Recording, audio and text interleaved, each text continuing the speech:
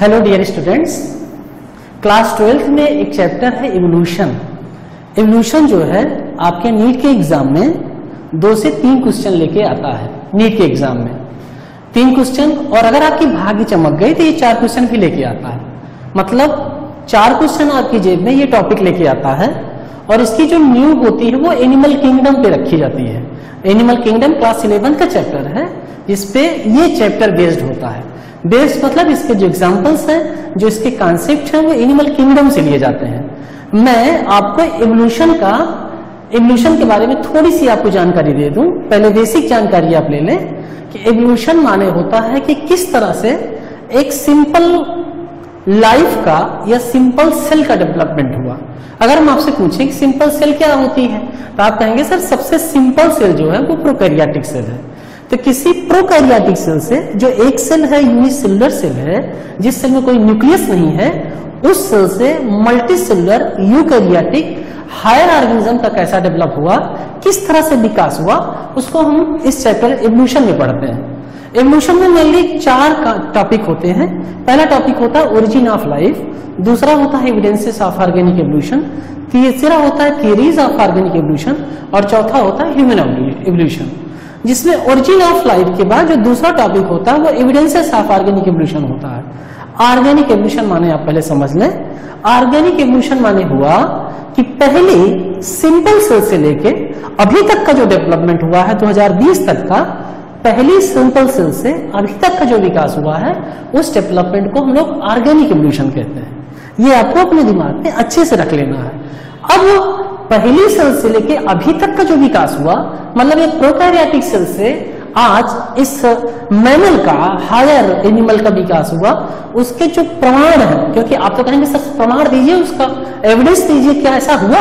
जी हाँ हम आपको एविडेंस देते हैं, और उस एविडेंस में हम आपको ये प्रूफ करके दिखाएँगे कि किस तरह से पहले सिंपल सेल से इस कॉम्प्लेक्स हायर एनिमल की ओरिजिन हुई। तो मैंने हेडिंग डाली है evidences of organic evolution organic evolution माने पहली सिंपल सेल से कॉम्प्लेक्स हायर ऑर्गेनिज्म का डेवलपमेंट जो हुआ, उसको हम लोग इस ऑर्गेनिक एवोल्यूशन में पढ़ते हैं। इसमें हम लोग एविडेंसेस थे जो देखते हैं, वो जो पहला एविडेंसेस है, जो पहला एविडेंस है, वो है एविडेंसेस फ्रॉम कनेक्टिंग लिंक ये पहला एविडेंस आपको देना है। एविडेंसेस फ्रॉम कनेक्टिंग लिंक मतलब हम इस एविडेंस से ये प्रूफ करेंगे कि किस तरह से सिंपल सेल से कॉम्प्लेक्स सेल का डेवलपमेंट हुआ। तो कनेक्टिंग लिंक में किसे कनेक्टिंग लिंक कहते हैं? तो कनेक्टिंग लिंक की अगर आपको डिफिनेशन लिखना हो तो ऐसे ऑर्गेनिज्म ऐसे जीव contains, organism contains contains characteristics of characteristics of two taxonomic taxonomic groups.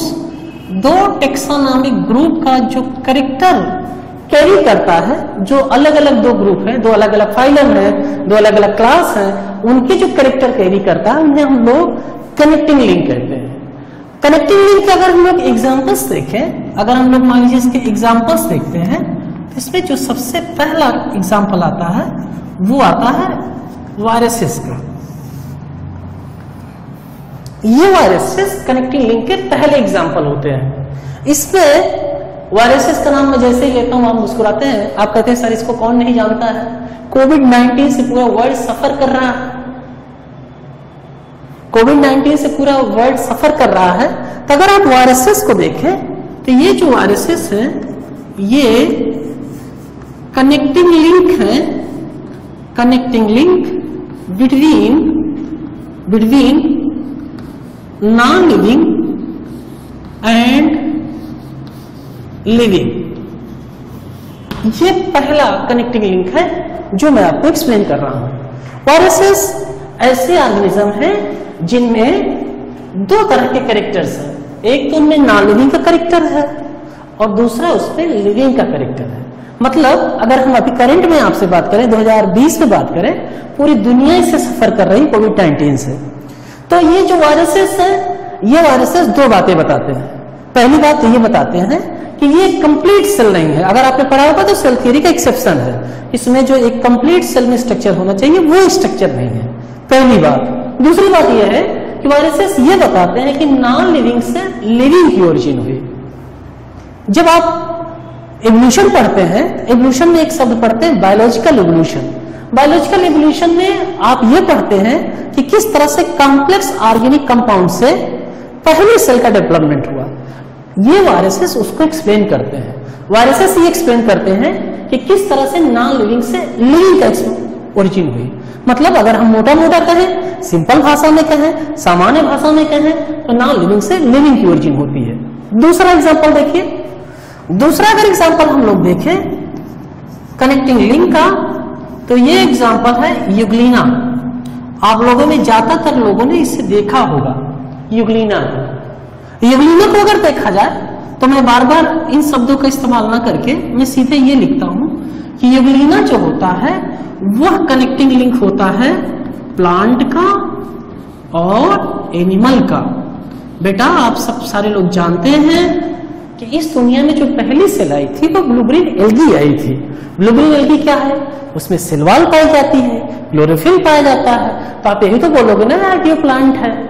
मतलब दुनिया में पहले प्लांट का डेवलपमेंट हुआ और उन प्लांट से हम एनिमल्स का डेवलपमेंट हुआ। तो देखिए, यहाँ क्या लिखा है?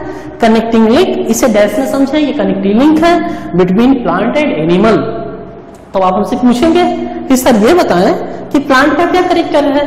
तो प्लांट का इसमें करेक्टर है कि इसमें क्लोरोफिल पाया जाता है। क्या पाया जाता है?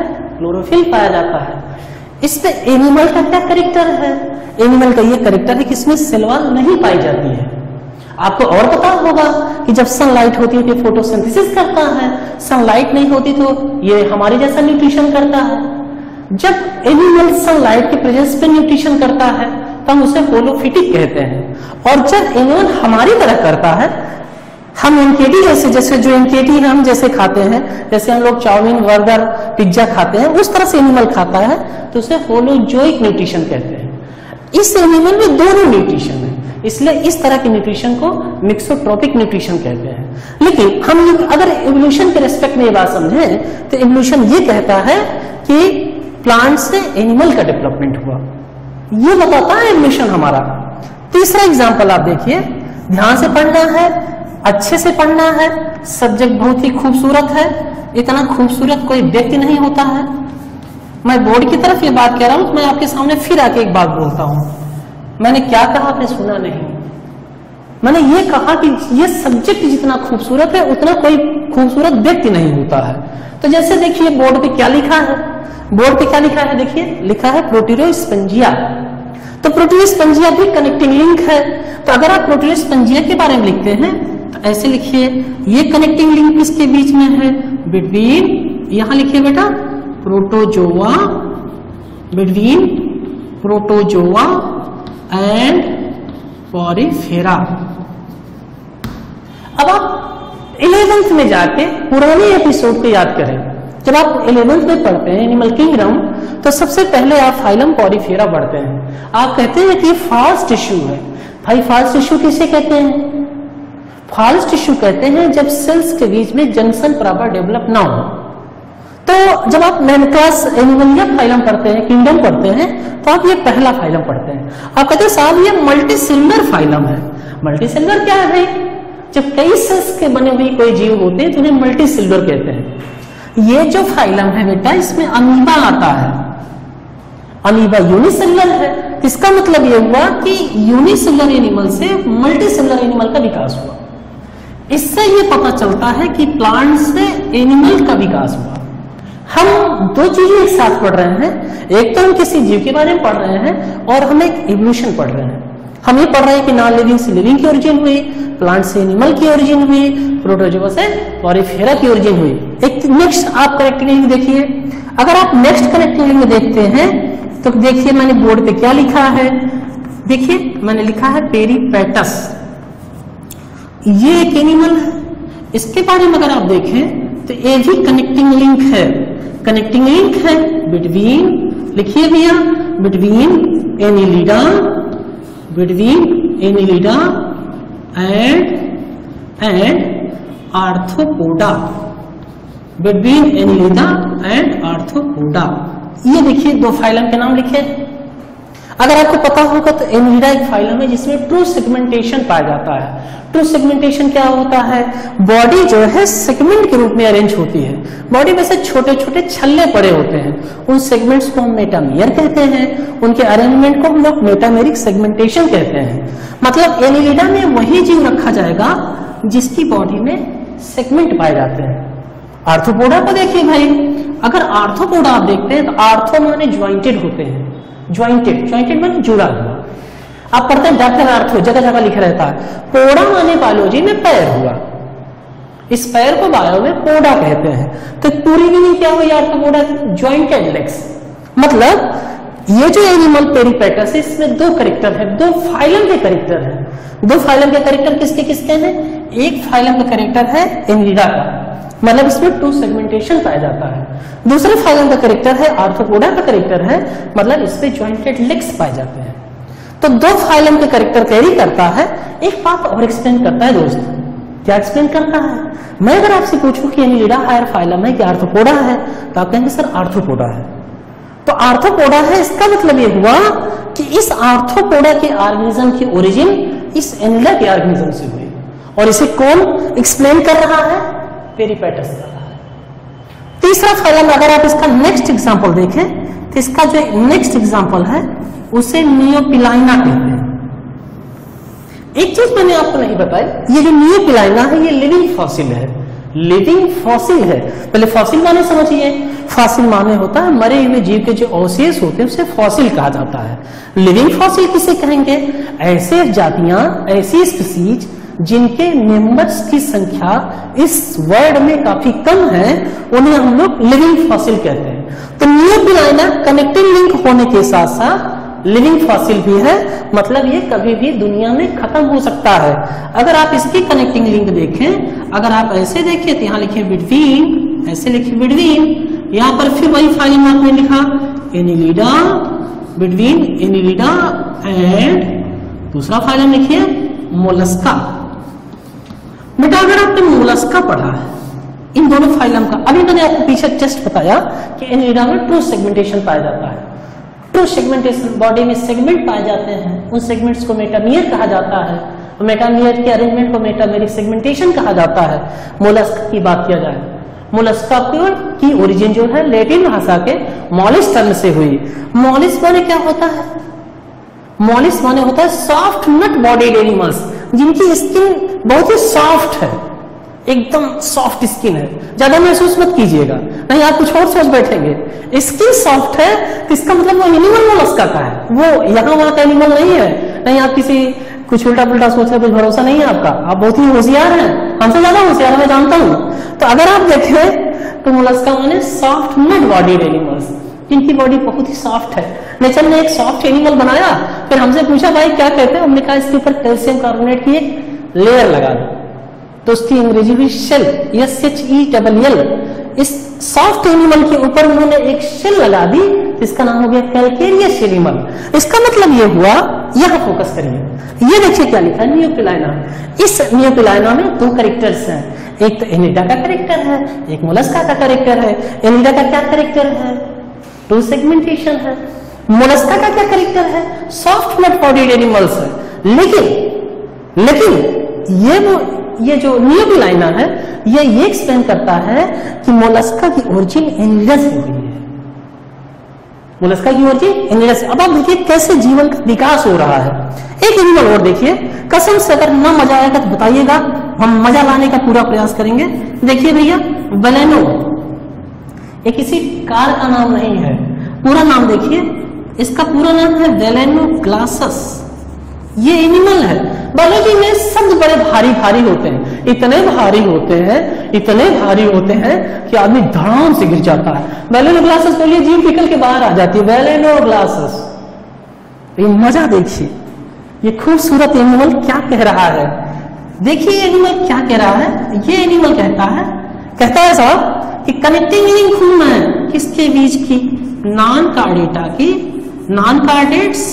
and chordates non chordates and chordates अब आप यहाँ पर इस बात को समझें। पहले मैंने इसे अंडरलाइन किया।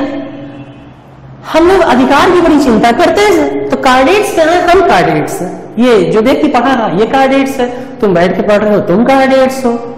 जितने ही आप देख रहे हैं, दो पैरों पे चलने वाले लोग सब कार्डेट्स हैं। चार पैरों के लोग चलने वाले सब कार्डेट्स हैं, ऐसा नहीं है। कार्डेट्स को समझने के लिए दिल हमेशा वेंटल साइड में होना चाहिए। नहीं फिर से मैंने क्या कहा कि अगर आपको कार्डियक समझना है तो दिल कहाँ होना चाहिए? दिल वेंटल साइड में होना चाहिए।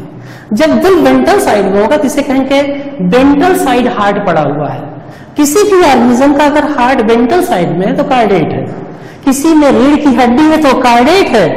किसी में पूछ निकली हुई तो कार्डेट है। किसी में गिलसिट्स है तो कार्डेट तो ये कार्डेट के करेक्टर्स हैं। पापा के साथ ये क्या बोल रहे हो? आप मुझे कुछ समझ में नहीं आ रहा। मैं साहब सुनो, क्या मैं कहना चाहता हूँ? मैं ये कहना चाहता हूँ कि वेलेनो ग्लासेस है, जिसमें दो फाइलम के करेक्टर्स एक करेक्टर नॉन कार्डेट्स का है। नॉन कार्डेट्स का करेक्टर है कि इसके पास? ये पीछे जो हमारी वर्टिकल कॉलम है, ये नहीं है। जबकि ये ये हमारा डार्सल साइड है। तो वर्टिकल कॉलम इसके पास नहीं है। तो वर्टिकल कॉलम नहीं है तो नॉन कार्डेट्स लेकिन कार्डियक का क्या है इसके पास? जब इसके इम्ब्रियो का डेवलपमेंट होता है तो उसमें गिल्सिट्स पाई जाती हैं। गिल्सिट्स कार्डियक का करेक्टर है। मतलब इसमें गिल्सिट्स पाई जाती है तो ये कार्डियक का करेक्टर इधर देखिए। अगर गिल्सिट्स पाई जाती है तो कार्डियक का करेक्टर है। और और, अगर इसमें वर्टिकल कॉलम नहीं पाई जाती है हार्ट वेंट्रल साइड होना चाहिए। कार्डियट्स में यहाँ पर हार्ट डार्सल साइड में है। ये नॉन कार्डियक का करेक्टर है। लेकिन लेकिन ये क्लासेस ये बताता है कि कार्डेट्स की ओरिजिन नॉन कार्डियट्स में। तो इस तरह से अगर आप देखें तो कितना गजब का अरेंजमेंट नेचर ने बनाया है कि नॉन लिविंग की ओरिजिन लिविंग से प्लांट की ओरिजिन एनिमल्स से प्रोटोजुआ की एनिमल पॉरीफेरा से पॉरीफेरा की आर्थोपोडा की ओरिजिन एनिल्डा से मोलस्का की ओरिजिन एनिल्डा से कार्डेट्स की ओरिजिन कहाँ से नॉन कार्डेट्स से एक एनिमल और देखिए, एक एनिमल आपको और देखना पड़ेगा। ये देखिए, चिमेरा। चाहे आप इसे चिमेरा कहें, चाहे इसे आप कायमेरा कहें। आपको जो पसंद आए, आप वो कहें। आपके मन के ऊपर चलता है। जो आप कहेंगे वही कहेंगे, इसकी अगर आप कनेक्टिंग लिंक देखें, ऐसे देखिए लिख देता हूँ। बिटवीन लिख दिया मैंने। बी अपॉन डब्ल्यू का मतलब बिटवीन क्या लिखा मैंने देखिए? Between cartilaginous fishes between cartilaginous fishes and and bony fishes ये देखिए। तो अगर आपको पता होगा भैया तो कार्टिलेजिनस फिशेस को कॉन्टिक्थीज कहते हैं। बोनी फिशेस को ऑस्टिक्थीज कहते हैं। कॉमन सेंस का इस्तेमाल करिए। हम बड़े, बहुत ही बुद्धिमान जीव हैं दुनिया के। तो कार्टिलेजिनस मतलब हुआ जी, वो फिशेस वो मछलियाँ जिनमें कार्टिलेज पाया जाता है। अगर आपको कार्टिलेज पकड़ना है तब तक कान ऐसे कहना कर लीजिए। कार्टिलेज इससे बोन्स नहीं होती, आप जानते हो तो ये जो ईयर पिन ना इसमें बोन्स नहीं पाई जाती है। अब बोने फिशेस होता है तो आप ऐसे करते हैं कि बोन्स है। तो जिन फिशेस में बोन्स पाई जाती है, वो बोनी फिशेस है। जिनमें बोन्स नहीं पाई जाती है फिशेस है। तो ये मतलब हुआ कि बोनी फिशेस हायर है कार्टिलेजिनस फिशेस लोअर है। इसका मतलब ये हुआ कि बोनी फिशेस का डेवलपमेंट कार्टिलेजिनस फिशेस हुआ। ये नेक्स्ट एग्जांपल है कनेक्टिंग का। तो अब टोटल कितनी हो गई? Viruses euglena proterospongia peripatus neopilina balanoglossus और काइमेरा दो एग्जांपल मैं आपको और पढ़ाता हूँ। Only two examples two examples कौन कौन से हैं? बचे हुए जो एग्जांपल्स आप यहाँ पर देख लें। यहाँ बोर्ड पे मैं आपको दिखा रहा हूँ। अगला जो एग्जांपल है, इस कनेक्टिंग लिंक का, वो आर्कियोटेरिक्स है। आर्कियोटेरिक्स है। ये पहले मैं आपको इसके बारे में बता दू। आपका फेवरेट हीरो कौन है? मेरा जो फेवरेट हीरो है, वो अमिताभ बच्चन है। लेकिन आपका जो फेवरेट है, मुझे पता नहीं है। तो मैं ऐसे मान लेता हूँ कि आपका फेवरेट हीरो अक्षय कुमार है। उसकी एक मूवी आई थी बिल्ला नंबर सात सौ छियासी। उसमें एक गाना था, बावरिया, ओ बावरिया। असीम के लिए गाया था। मैं मूवीज़ बहुत देखता हूँ। तो आर्थिक से बावरिया कहाँ से आ गया? जर्मनी में एक जगह बावरिया है, जहाँ पर इसको विल्सन नाम के साइंटिस्ट ने खोजा था। तो बावरिया गाने से आना याद करो, जगह कौन सी है? जर्मनी है। ये, इसका एक भी मेंबर इस जात का इस दुनिया में अब नहीं है। जब किसी जात का मेंबर नहीं है, और ये आर्कियोपेरिक्स जो है, ये कनेक्टिंग लिंक है। मैं लिख दू पूरी बात आपको। ये कनेक्टिंग लिंक है between between reptiles and birds. ये रेप्टाइल्स और बर्ड्स का कनेक्टिंग लिंक है। अच्छा देखिए, मैंने क्या लिखा है कनेक्टिंग लिंक लेकिन ये जीव दुनिया में नहीं रह गया है तो आप चाहे यहाँ कनेक्टिंग लिंक लिखें और चाहे आप यहाँ पर मिसिंग लिंक लिखें। मिसिंग लिंक मतलब जो जीव दुनिया से समाप्त हो चुका है। लास्ट और फाइनल एविडेंस ऑर्गेनिक एवोल्यूशन का कनेक्टिंग लिंक के डिफरेंस में। ये देखिए, ये जीव है, जिसका नाम है एकिडीना है। और इसका छोटा भाई है, उसका नाम प्लेटिपस है ये दो जीव हैं, इन दोनों जीव के बारे में आप सुन लीजिए। ये एकिडीना और प्लेटिपस है, मैं कनेक्टिंग लिंक न लिख के सीधे बिटवीन लिखता हूँ। आप लिख सकते हैं बिटवीन कनेक्टिंग लिंक है between reptiles and mammals reptiles and mammals पहले आप रेप्टाइल समझ लीजिए। रेप्टाइल्स जो है हाँ रेप्टाइल्स जो है, वो क्रीपिंग करते हैं और मैमल्स जो है, हम लोग हैं। तो इन दोनों एनिमल्स में रेप्टाइल्स का भी करेक्टर है मैमल्स का भी करेक्टर है। फटाफट मैं आपको बताता हूँ रेप्टाइल्स का क्या करेक्टर है। ये ओबी पेरस है, अंडे देते हैं, इनमें क्लोएका पाई जाती है और इनमें कार्पस कैलोसम अब्सेंट होता है। मैमल्स का क्या करेक्टर है? इनके मेल और फीमेल जो पेरेंट्स हैं, उनमें मेमोरी ग्लैंड्स एक्टिव होती हैं। फाइनल व्यू आप देखिए, फटाफट।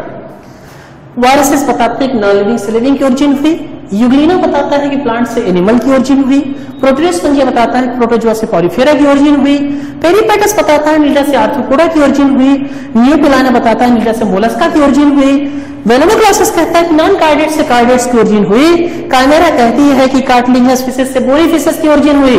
और साहब ये आर्कियोप्टेरिक्स जो मिसिंग लिंक है। ये कहती है रेप्टाइल से बर्ड्स की ओरिजिन हुई। और ये साहब दोनों लोग क्या बताते हैं? ये कहते हैं रेप्टाइल से मैमल्स की ओरिजिन हुई।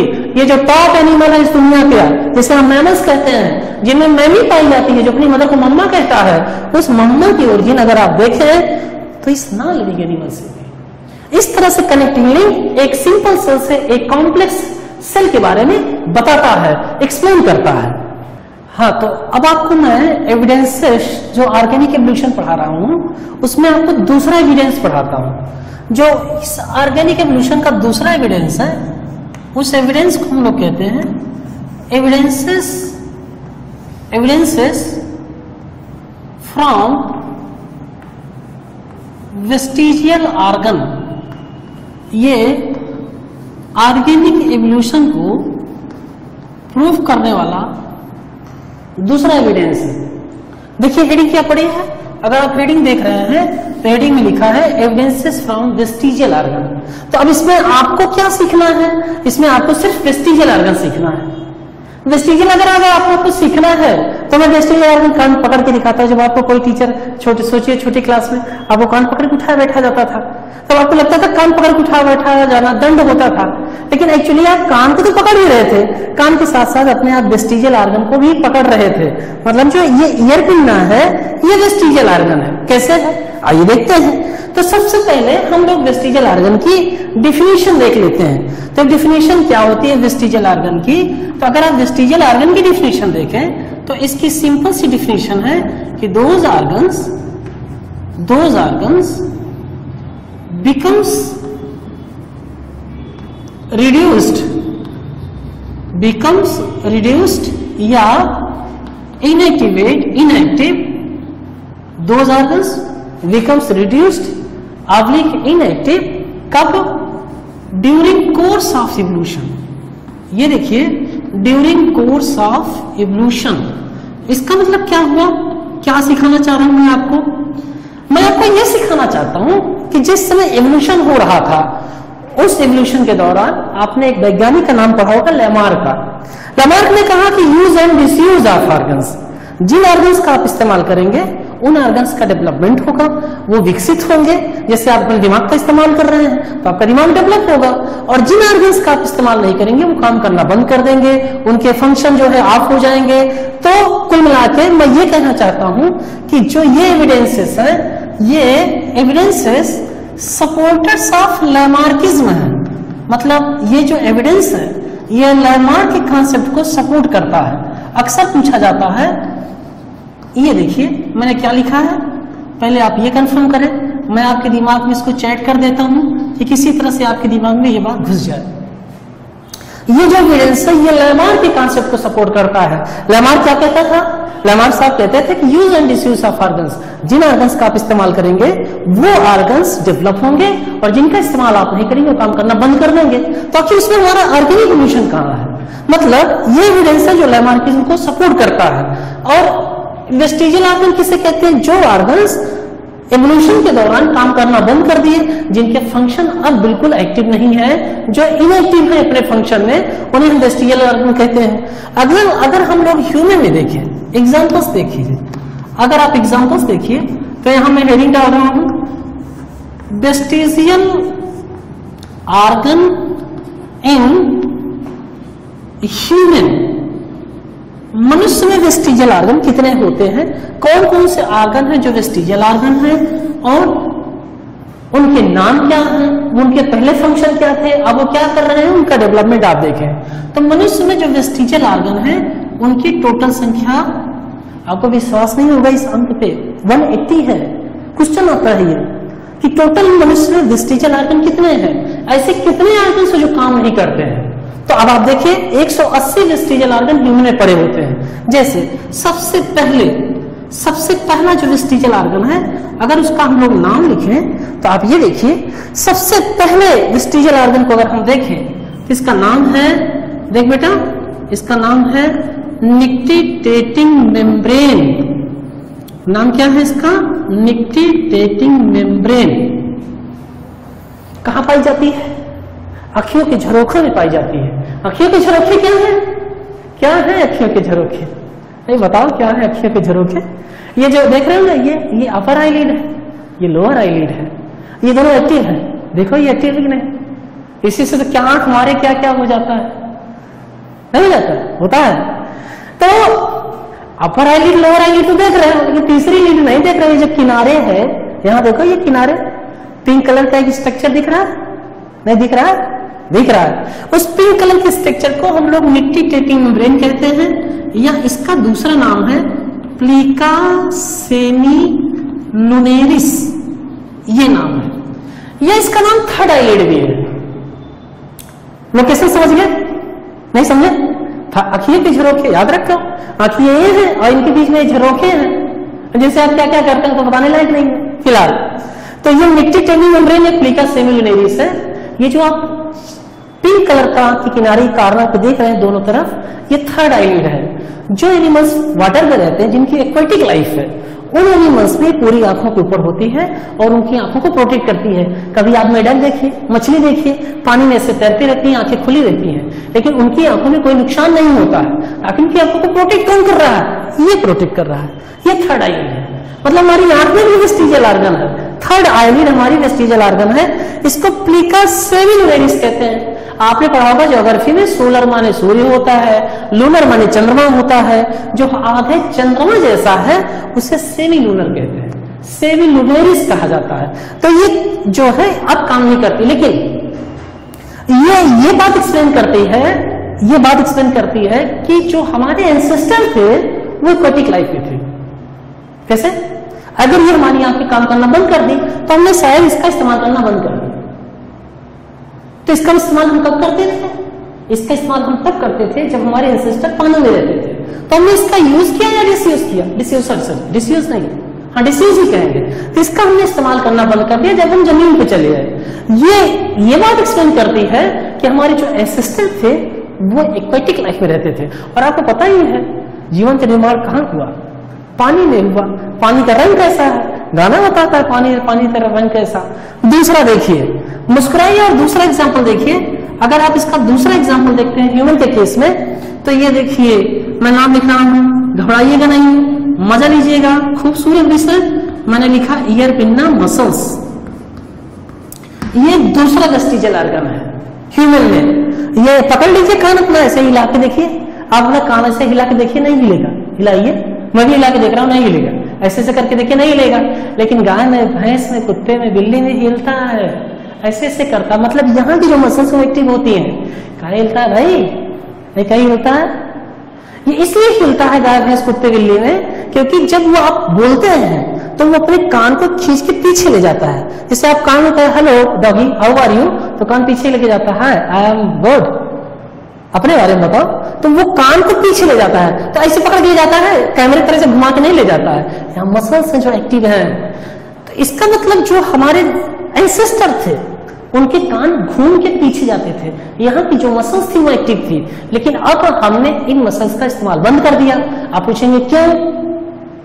तो क्यों का जवाब ये है कि हमारा जो हियरिंग सेंटर है, जहाँ से हम बातों को सुनते हैं, हम ऐसे सुनते हैं, हम ऐसे सुनते हैं, वो जो बातों को सुनते हैं, हमारा हियरिंग सेंटर जो है, बहुत ही एक्टिव हो गया है। दूर से आके वही बुराई करता है और आप सुनते कहते मैं सुन रहा था। मतलब मेरा हियरिंग सेंटर एक्टिवेट हो गया हम लोगों का तो नेचर ने इस मसल्स को इनएक्टिव कर दिया। हमने इसका यूज़ किया कि डिसयूज किया? इसका डिसयूज किया। इसलिए काम करना बंद कर दी। लेकिन आप लोगों में, आप जो हमारे स्टूडेंट्स हैं आप लोगों में दो चार लोगों का होंगे कान जो हल्के हल्के हिलते होंगे और ये बताते हैं कि हमारे जो एंसेस्टर हैं, जो हमारे रिश्तेदार हैं, वो कपी है, वो बंदर है चिंपिंजा है, चिंपैंजी है, गोरिल्ला है, ओरिंगुटान है। मतलब ये हमें हमारे रिश्तेदारों की याद दिलाता है। ये बताता है तुम्हारी ओरिजिन एप से हुई है। एक लाइक एंसेस्टर आपके थे। नेक्स्ट देखिए। तीसरा एग्ज़ाम्पल आप स्टीजल आर्गन के देखिए और महसूस करिए, खूबसूरत विषय आपके ब्लड में भूल जाएगा, मैं ये बात कहता हूँ। क्या कहा मैंने? ये खूबसूरत विषय आपके ब्लड में घोल दूँगा मैं। नेक्स्ट देखिए, ये टू मसल्स के बाद इसे कौन नहीं जानता है? ये हमारे गाँव के रामू काका भी जानते हैं। कौन जानता है? हमारे गाँव के रामू काका भी जानते हैं। पहले पढ़ लीजिए लिखा क्या है? अंग्रेज़ी देख लो, लिखा है वर्मी फॉर्म अपेंडिक्स कहा पाई जाती है? यहाँ पे, ना? ये इंटेस्टाइन में पाई जाती है? आप बायो के स्टूडेंट हैं, आपको कितना पता ही होगा यार तो ये वर्मी फॉर अपेंडिक्स इंटेस्टाइन में पाई जाती है? और आपने अक्सर सुना होगा कि ये जब हम पेड़ों पर रहते थे मतलब जब मनुष्य पेड़ पे रहता था तो हर्ब खाता था, हर्बी बोरस था। तो उस समय इस वर्मी फार अपेंडिक्स से एंजाइम निकलता था। ध्यान सुनना क्या कहा मैंने? सिलेज चीज़ निकल के बाहर आ जाएगी। और इससे सिलेज एंजाइम जब निकलता था तो वो सिलेज एंजाइम सिलेज का डाइजेशन करता था। अब आप सबको पता होगा आपके टीचर ने डाइजेशन चैप्टर में पढ़ाया भी होगा। कि मनुष्य में सिल्लोज का नहीं होता। क्यों नहीं होता? साथ ये काम करना बंद कर दिया। ये काम करना क्यों बंद कर दिया? क्योंकि मनुष्य तो बड़ा होशियार है। एक जगह तो रहता नहीं। आप ही कहाँ रहते हैं? लॉकडाउन में निकल के टहल रहे हैं। तो ये वर्मी फॉर एथनिक्स जो है, जब मनुष्य पेड़ से उतर के नीचे ज़मीन पे आया और उसने ज़मीन पे टेरिटरी अपनी डेवलप की तो उसने उसमें इस वर्मी फॉर अपेंडिक्स का काम बंद हो गया। तो ये क्या हो गया? वेस्टिजियल आपने पढ़ा जब इससे गंदा फ़ूड चला जाता है तो डिज़ीज़ हो जाती है अपेंडिसाइटिस फिर आपके यहाँ दर्द होता है। फिर जब आप इसको काट करके डॉक्टर से निकाल देते हैं तो उसे अपेंडिक्टोमी कहा जाता है। डॉक्टर कहता है, लाइए आपका अपेंडिक्स का हम ऑपरेशन कर देते हैं। तो इसका मतलब ये एक बात ज़रूर बताता है कि जो हमारे एंसेस्टर थे, वो हर भी बोरस थे। ये बताता है कि हमारे एंसेस्टर के कान एक्टिव थे। ये बताता है कि आपके जो एंसेस्टर थे, जो रिश्तेदार थे, पानी में रहते थे। नेक्स्ट देखिए। अगर आप इसका अगला एग्ज़ाम्पल देखें नेक्स्ट देखें तो ये देखिए केनाइन टीथ ये देखिए केनाइन टीथ केनाइन टीथ क्या है भाई? ये कौन सा दांत आ गया? अरे भाई, आपसे अच्छा कौन जाता है? चार छह हमारे दांत लगे हैं। इंसीजर है केनाइन है प्रीमोलर है मोलर है। ये देखिए केनाइन टीथ है ये ना? ये, जिससे आप सुई में धागा जब डालते हैं तो धागे को काटते हैं। वही केनाइन टीथ है। किस कुत्ते में किसमें डेवलप होता है? कुत्ते में। या किसी और जीव जो मांस खाता है, जो कार्निवोरस है तो ये केनाइन ये बताता है कि हमारे जो इंसिस्टर थे, वो कार्निवोरस थे। अब बताओ हम क्या है? नहीं तो मुर्गा खाते तो कार्निवोरस होता है, हो ही नहीं सकता। हम तो ओमनिवोरस है। इस टीथ की कोई इंपॉर्टेंस नहीं हमारे यहाँ। केनाइन टीथ की हमारे यहाँ कोई इंपॉर्टेंस नहीं है। इसलिए ये ये हमारी बॉडी में यूज़ में नहीं है। चार दांत होते हैं। ये देखिए, आपको फार्मूला याद होगा। Two one two three upon two N two three human का जो डेंटल टीथ का फार्मूला है डेंटल फार्मूला है नेक्स्ट एक टीथ देखिए, आपने पढ़ा होगा लास्ट मोलर या अगर नहीं होगा तो आप जितने लोग होंगे, पहले मैं नाम लिख देता हूँ, फिर मैं आपसे बात करता हूँ। ये देखिए, ये लास्ट मोलर है। इस टीथ को हम लोग विजडम टीथ कहते हैं। क्या कहते हैं? विजडम टीथ अब आपके दिमाग में आएगा विजडम टीथ क्या इसके निकलने से बुद्धिमान हो जाता है नहीं। ये 18-20 साल में निकलता है, जब आपको जो बुद्धिमान होना होता है, आप हो चुके होते हैं। तो ये निकलता है कहा? लास्ट में गाल में निकलता अंत में, यहाँ जबड़े के किनारे, कान के आसपास यहाँ लास्ट में जहाँ टीथ होता है। और बेचारे को जगह भी नहीं मिलती रहने की। और इसके कारण आपके मसूरे में पेन होता है, और कभी कभी आप निकलवा के इसको फेंक देते हैं। डॉक्टर डेंटिस्ट के पास जाते निकाल के फेंक देता है। इस टीथ का इस्तेमाल बॉडी नहीं कर रही है। अभी आपको 18 साल में निकल रहा है, मुझे 19 साल में निकला था। आने वाले समय में 25 साल में निकलेगा, फिर 50 साल में निकलेगा, फिर खत्म हो जाएगा। इसका मतलब इस टीथ का इस्तेमाल ह्यूमन नहीं कर रहा है। ये बात आपको सीखनी है। तो कितने आ गए? Nictitating membrane ear pinna muscles vermiform appendix canine teeth last molar ये पाँच हो गए। इसके सिवा और आप यहाँ पर देख सकते हैं वेस्टिजल आर्गन अगर आप ये देखें नेक्स्ट वेस्टिजल आर्गन देखें तो ये देखिए, अगला जो वेस्टिजल आर्गन है, वो बॉडी हेयर है। मेरे प्यारे बच्चों, आप सबने पढ़ा होगा कि मनुष्य का विकास एप से हुआ है। एप की पूरी बॉडी पे हेयर होते हैं। हम लोगों की बॉडी पे हेयर कुछ लिमिटेड प्लेसेस पे है। एक तो बॉडी स्किन हेयर है, एक एक्सिलरी हेयर है जो आर्पिट पे होते हैं और एक पबिक हेयर है। इनको छोड़ के हमारी बॉडी में अब लिमिटेड लोकेशंस पे हेयर पड़े हैं। लेकिन कभी कभी ऐसे भी लोग होते हैं जिनकी पूरी बॉडी में हेयर होते हैं। जब पूरी बॉडी में हेयर होते हैं तो उन्हें लॉयन बॉय कहा जाता है। अगर आपकी पूरी बॉडी में हेयर है तो वो हेयर ये बताता है कि आपकी ओरिजिन ऐसे व्यक्ति से हुई है जिसकी पूरी बॉडी में हेयर था। इसका मतलब जो बॉडी हेयर है, वो बॉडी हेयर एक तरह के वेस्टिजियल आर्गन है। इसके सिवा और कौन से वेस्टिजियल आर्गन आपके यहाँ है? ये देखिए, आपके यहाँ जो अगला वेस्टिजियल आर्गन है, उसे हम लोग कहते हैं segmental muscles of abdomen segmental muscles of abdomen ये आपके यहाँ नेक्स्ट ह्यूमन में जो है वेस्टिजियल आर्गन ये एब्डोमेन में सेगमेंटल मसल्स ऑफ़ एब्डोमेन थी, जो पहले एक्सपायरेशन में मदद करती थी, लेकिन इसका काम अब खत्म हो चुका है। अब ये काम नहीं कर रही है। तो आप देखिए कौन कौन से हो गए? Nictitating membrane ear pinna muscles vermiform appendix canine teeth last molar body hair segmental muscles of abdomen तो टोटल हो गया, इसका नाम कर दू मैं। ये यफ है और ये जी है। तो इस तरह से आप देखिए, सात आठ जो है ये आपकी बॉडी में जो है, क्या कहते हैं वेस्टिजियल आर्गन पाए जाते हैं, जो आपके एंसेस्टर के बारे में एक्सप्लेन करते हैं। इसके सिवा एक नाम और है। अगर आप एक नाम और देख लें तो ये नाम है जिसको हम लोग सीकम कहते हैं। अगर आपको याद होगा तो ये सीकम रेबिट में हर्ष का डाइजेशन मतलब सेल्यूलोज का डाइजेशन करता है। रेबिट में सीकम सेल्यूलोज का डाइजेशन करता है और जो रूमिनेट्स हैं, जो जुगाली करते हैं, वहाँ पर स्टमक में सेलोज का डाइजेशन होता है। तो सीकम भी जो क्या है, एक तरह का वेस्टिजल आर्गन है। ये देखिए, एक नाम तो छूटा जा रहा है साहब। इसका नाम देखिए कॉकिक्स क्या है ये? कॉकिक्स क्या है? आपने पढ़ा है कि गर्दन के पीछे जो वर्टिब्री है सर्वाइकल करते हैं। इनकी संख्या सात है। चेस्ट के पीछे जो है, इनको थोरेसिक कहते हैं, इनकी संख्या बारह है। पेट के पीछे लंबर इनकी संख्या पाँच है। और लास्ट वर्टिब्री जहाँ पर ये बेल्ट लगती है, उसे कॉकिक्स कहते हैं।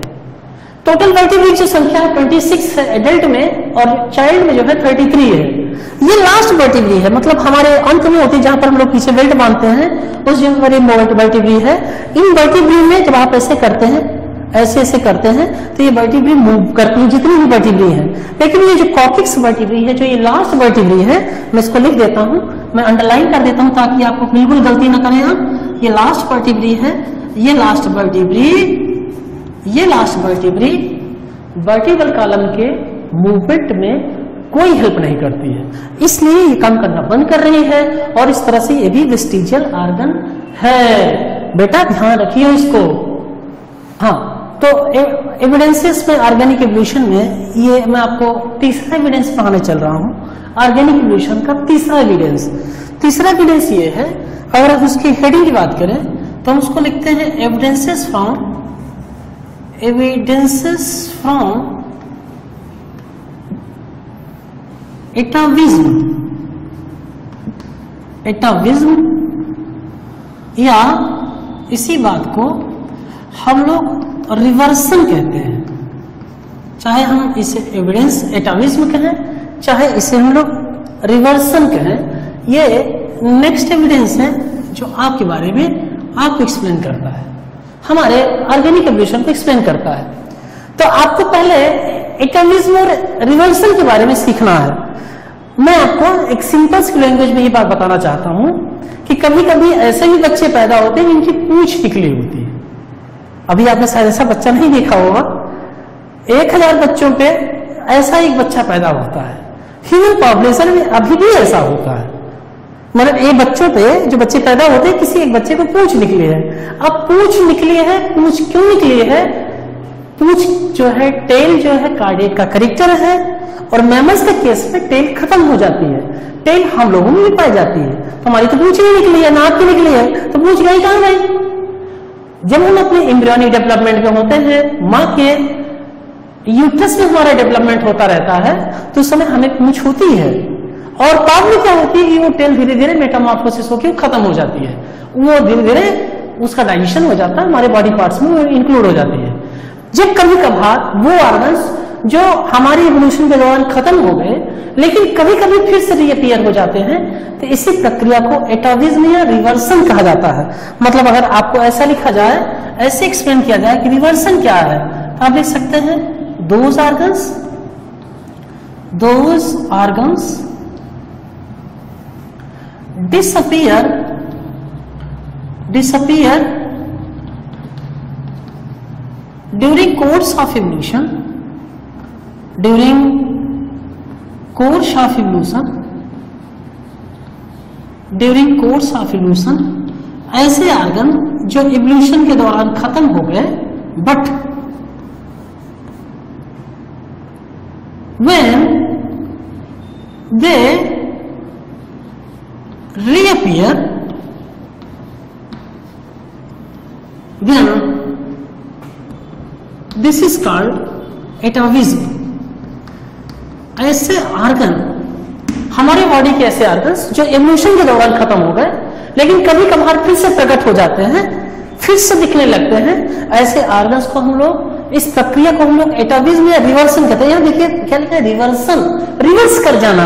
मतलब वो आर्गन खत्म हो चुके हैं। इमोशन के दौरान नेचर ने उन्हें इस्तेमाल ही नहीं किया खत्म हो गए। जो हमारी मदर नेचर है, जिससे ये ह्यूमन आया है, जिससे पूरे जीव आए हैं, उसने उस आर्गन का इस्तेमाल नहीं किया खत्म हो गए। दिखते ही नहीं है। लेकिन कभी कभार जब दिखते हैं वो आर्गन तो हम कहते हैं, साहब, ये एटाविज्म का एक प्रक्रिया है, जो हमारे एंसेस्टर के बारे में हमें इंट्रोड्यूस कराती है। हमारे बारे में बताती है कि हमारे भाई एंसेस्टर ऐसे थे। जैसे, आप एग्जाम्पल्स देखिए। एग्ज़ाम्पल बिना आप एग्ज़ाम्पल ये तो मानेंगे नहीं। सारी बात एग्ज़ाम्पल से ही होती है।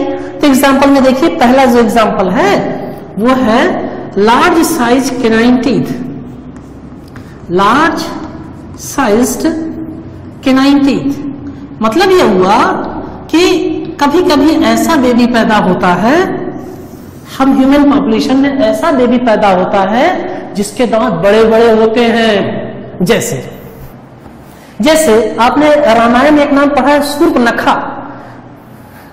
सूर्पनखा? तो सूर्पनखा माने जिसके नाखून सूप जैसे होते हैं।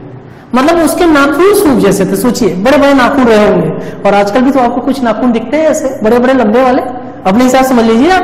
तो बड़ी साइज़ का दांत ये एक्सप्लेन करता है कि जो हमारे एंसेस्टर थे, वो कार्निवोरस थे। दूसरा एग्ज़ाम्पल देखिए। अगर आप इसका दूसरा एग्ज़ाम्पल देखें तो वो जो फ़ेमस एग्ज़ाम्पल है, जिसकी हम लोग चर्चा करते हैं, वो करते हैं सर्वाइकल फिस्टुला की बात करते हैं। ये आपको याद करना है, क्योंकि यही पूछा जाता है, ये वाला। सर्वाइकल फिस्टुला दूसरा एग्ज़ाम्पल है। क्या है एग्ज़ाम्पल सर्वाइकल अगर टर्म लग जाएगा तो ये गर्दन के लिए लगता है, पहले आप याद कर लो। नहीं, पहले इसको याद करो सर्वाइकल गर्दन के लिए लगता है। फिस्टुला टर्म लगा, इसका मतलब समझो। जब आप कार्डेट्स के करेक्टर पढ़ते हैं कार्डेट्स का जब आप करेक्टर पढ़ते हैं तो उन्हीं करेक्टर्स एक करेक्टर आप ये पढ़ते हैं, क्या पढ़ते हैं? पहले मैं लिख देता हूँ। आप लिखते हैं फेरेंजियल गिल्सिट्स ये एक करेक्टर है जो कार्डेट का करेक्टर है। फेरेंजियल गिल स्लिट्स ये कार्डियक का एक करेक्टर और मैं ज़्यादा नहीं लिखूँगा क्योंकि हम इवोल्यूशन पढ़ रहे हैं हम एनिमल किंगडम नहीं पढ़। रहे तो फेरेंजियल गिल स्लिट्स जो है कार्डियट्स में पाए जाते हैं। ये फेरेंजियल गिल स्लिट्स कब पाए जाते हैं? इम्ब्रियोनिक डेवलपमेंट में। जब हमारा इम्ब्रियोनिक डेवलपमेंट होता रहता है, उस समय ये हर कार्डियट से पाया जाता है। तो वो कार्डियट जो पानी में रहते हैं, उनमें ये गिल्स में कन्वर्ट हो जाती है। जैसे फिशेस और एम्फीबियंस का लार्वा लेकिन वो कार्डेट्स जो ज़मीन पे रहते हैं, उनमें ये लंग्स में कन्वर्ट हो जाते हैं। कौन? एडल्ट एम्फीबियंस रेप्टाइल्स बर्ड्स और मेमल्स ये है कॉन्सेप्ट मतलब ये ग्रिसिड्स हर कार्डियक में पाया जाएगा एम्ब्रियोनिक कंडीशन में। हमारे यहाँ भी पाया जाता है, लेकिन अब हमारे यहाँ फेफड़ा बन गया है। कभी कभी कुछ बच्चा पैदा होता है और उस बच्चे की यहाँ गर्दन पे ऐसे जिसे लगता है किसी ने चीरा लगा दिया है किसी ने चाकू से ऐसे खींच दिया है, ये इस जगह पे। आप एक मूवी देखी होगी? अवतार उस मूवी में ये बात दिखाई गई है कि रिस्पिरेशन यहाँ से होता है, इस जगह से। ये आप फोकस करिए, इस जगह पे गर्दन जो है, यहाँ पे सर्वाइकल फिस्टुला होती है, ऐसे गर्दन ये जो है, ये लोकेशन यहाँ पर जैसे हम नाक से सांस ले रहे हैं ऐसे यहाँ सर्वाइकल फिस्टुला होती है, और उससे जो है, उससे जो है एनिमल सांस लेता है न्यू बॉर्न बेबी लेकिन ऐसा बच्चा ज़िंदा नहीं रहता है। पैदा होता है, दो घंटे, चार घंटे, दस घंटे, उसके बाद बच्चे की डेथ हो जाती है। लेकिन ये एक बात बता के जाता है। क्या बताता है? साहब, आपके जो एंसेस्टर थे, उनमें फेरिंगल गिल्सिट्स यहाँ गर्दन पे पाई जाती थी। गिल्स के बारे में एक्सप्लेन करता है। ये बताता है कि आपके एंसेस्टर एक्वेटिक लाइफ रहते थे। मतलब एम्फीबियंस की तरफ़ उंगली उठाता है। ऐसे कहता है कि तुम्हारी जो एंसेस्टर थे, वो मछलियाँ थी। एंसेस्टर जो आपके थे, वो एक्वेटिक थे। गिल्स गिल्स कंटेन वाले ऐसे एंसेस्टर थे जिनमें गिल्स थे। एक और देखिए, एक और देखिए। प्रेजेंस ऑफ़ टेल कभी कभी कोई बच्चा पैदा होता है तो उस बच्चे में टेल पाई जाती है। टेल ये देखिए। कार्डेट्स का जब आप करेक्टर पढ़ते हैं तो कार्डेट्स में आप एक करेक्टर पढ़ते हैं, करते हैं कार्डेट्स पे करेक्टर आप पढ़ते हैं पोस्ट एनल टेल पढ़ते हैं। कि टेल हर कार्डेट्स का करेक्टर है, लेकिन कब पाई जाए? पोस्ट माने बाद में एनस माने एनल के एनल माने एनस के। एनस के बाद पूछ पाई जानी चाहिए, लेकिन हम लोगों में तो पूछ नहीं है। तो गई कहा? डेवलपमेंट में वो जब हमारा डेवलपमेंट होता रहता है माँ के यूट्रस में तो वो टेल खत्म हो जाती है। लेकिन कभी कभी अगर बेबी पैदा हुआ और उस बेबी में टेल पाई गई तो लोग कहते हैं, राक्षस पैदा हुआ। और कभी कभी तो गड़बड़ हो जाता है। लोग ऐसे बच्चों को ज़िंदा ही दफना देते हैं। लेकिन आपको बायोलॉजी का स्टूडेंट होने के नाते आपको ऐसे लोगों को ये बताना है, ये समझाना है ये कार्डियक का करेक्टर है और ये धीरे धीरे खत्म हो जाएगा। ध्यान दीजिएगा। ये सोशल वर्क है। आप चाहे साइंस के आदमी है या साइंस के आदमी नहीं है, लेकिन आपको इस बात पे ज़रूर फोकस करना है। ये देखिए साहब presence of body hair presence of body hair ये एक एक करेक्टर है जो आपको आपके एंसेस्टर के बारे में बताता है। प्रेजेंस ऑफ़ बॉडी हेयर ये देखिए, ऐसे लोग जिनकी पूरी बॉडी में बाल होते हैं, ऐसे लोगों को हम लोग लायन बॉय कहते हैं। देखिए, अगर आपके शरीर पे बहुत ज़्यादा बाल है तो आप अपने आप को लायन बॉय मत कहिए शेर का बच्चा है। यहाँ शेर के बच्चे का कॉन्सेप्ट नहीं है। यहाँ ये बात है, ये पूरे शरीर के बाल जो है, ये बताते हैं कि आपके एंसेस्टर के पूरी बॉडी पे हेयर था। इस तरह से ये एटाविज्म आपके एंसेस्टर के बारे में एक्सप्लेनेशन करता है।